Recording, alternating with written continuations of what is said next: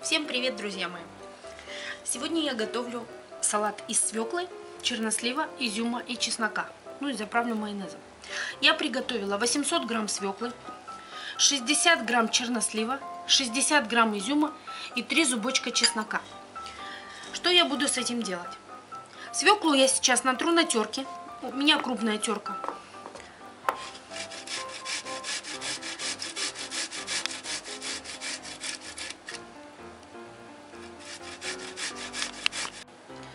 Почему у меня такая маленькая свеклочка? Это я копала свеклу в огороде.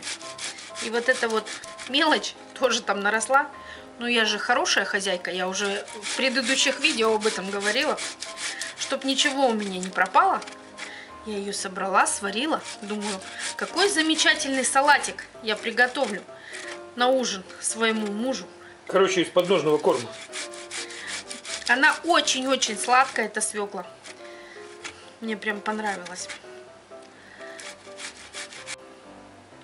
Свеклу я потерла на терке.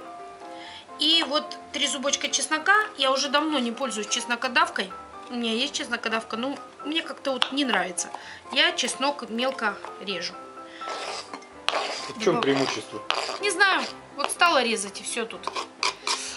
Ни в чем не преимущество. Кому как нравится. Теперь я буду резать чернослив. Чернослив я промыла. Мне чернослив нравится. Кому, у кого будет жесткий чернослив, можно залить кипятком. Также и изюм. Я его промыла тоже в горячей воде.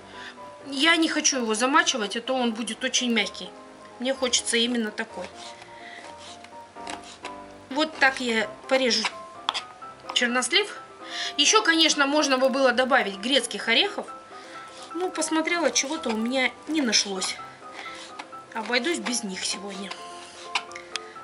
Вот так будет резать, резаться наш чернослив.